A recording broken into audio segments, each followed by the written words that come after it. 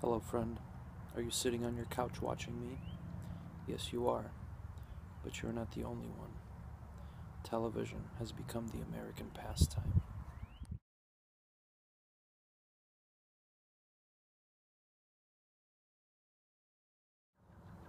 Our children, our elderly, ourselves, we are all affected by this epidemic.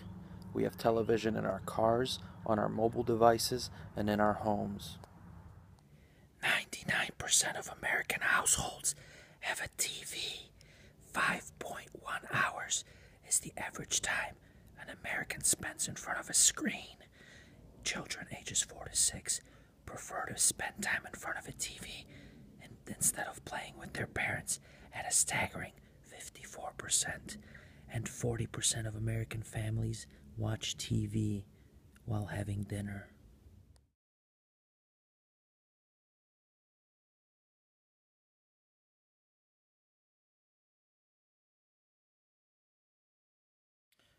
So, what's the big deal? I'll tell you.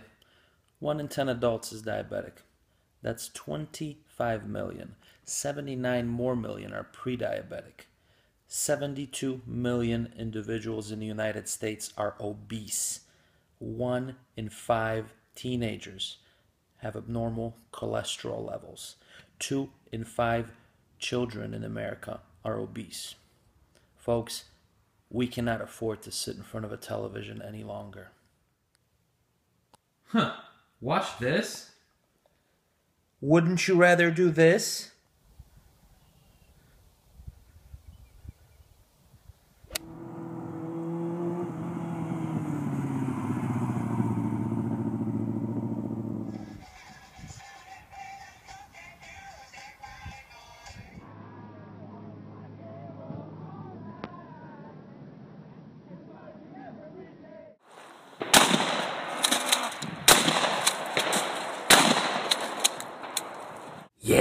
Activities.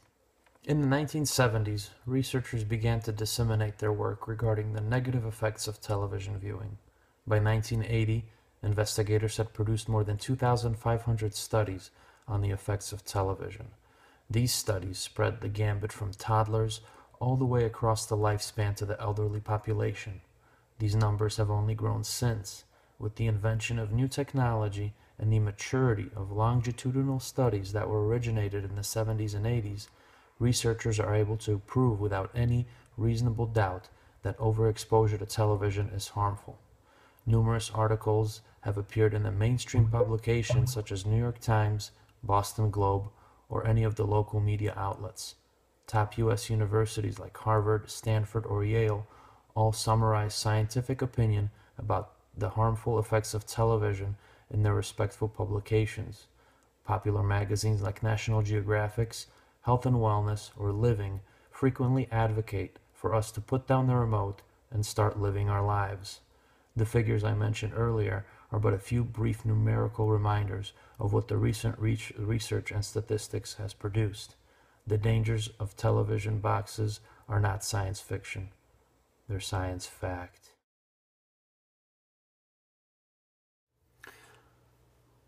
The past approach to overexposure of television has mainly been to limit the amount of time that individuals spend in front of the boob tube.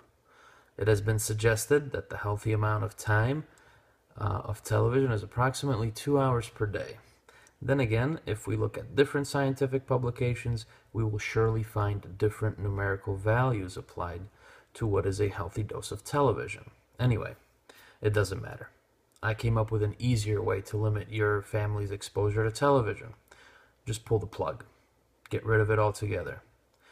Get off the couch, wipe your greasy fingers off, and go live your life. I have been free of television for the past eight months.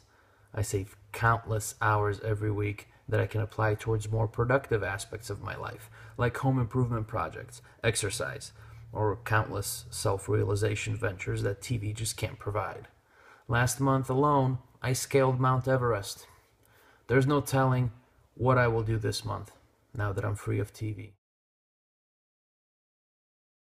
Now, I understand that television is more addictive than heroin.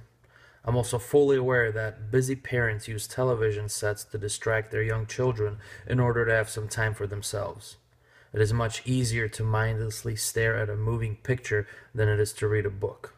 We use television programming as an escape from reality.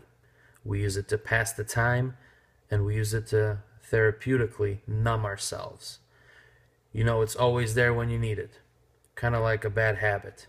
Having said all this, I would like to offer you a tool to help combat the ninja grip that television has on you. I have in my possession an instrument that will help you forget all about TV and improve your life. It is a one of a kind mobile application. The content of this application will make you forget about television and give you back your life. It is called the No TV app.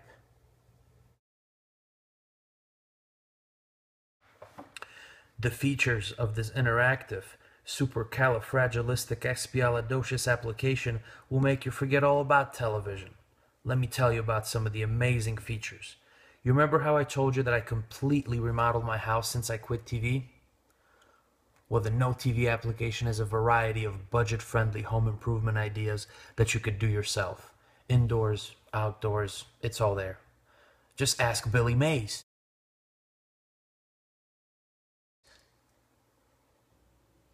This revolutionary application will organize your local and global news in real time. Now you will have no excuse for ignorance because current knowledge is only a finger swipe away. Another groundbreaking feature of this application is a list of local events in your area. If it's, ta- if it's time to get out of the house, don't forget your No TV app. You will have the listings of your highest rated restaurants, live music, festivals, and all the local attractions in your respectable area. And for more advanced users of this application, I have included a daily checklist. This is for the hardcore anti television folks who take their lives into their own hands. This revolutionary application will help you plan your day and fill in the gaps with life altering experiences all at your fingertips. Of course, the basic features like a workout schedule, a fun and factual internet research, or link to iTunes University will all come standard with every subscription to this progressive app. But wait, there's more. This innovative application comes with a special feature called Help Me On Board. This pioneering feature has been especially designed for the moments of weakness that individuals in television withdrawal may experience. Simply touching the Help Me On Board button will select a healthy activity to keep the user occupied and his or her mind off the television viewing during the crucial stages of television withdrawal. This application is completely interactive. Users can expect frequent new updates to the content. You can take this application on the go in your smartphone or tablet device. It is also compatible with desktop computers and coming soon to Google Glass. Let me briefly discuss the collaboration efforts that went into designing this interactive application.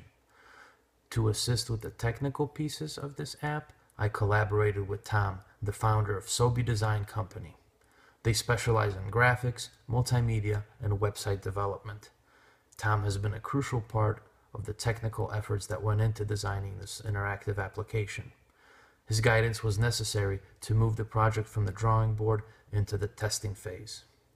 The second crucial collaborator to my efforts was Frank Zagadlo.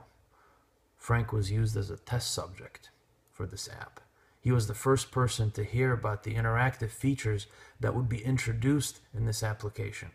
Frank's opinions helped to shape the uh, practicality and the content and simplicity of the interface of this application. Lastly, I would like to thank Eva Markovic.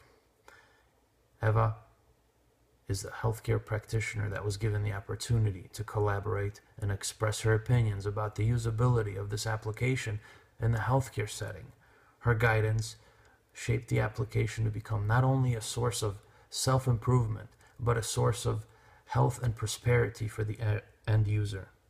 Eva was able to apply the revolutionary ideas in a clinical setting to potentially improve her patients' outcomes by using the No TV app.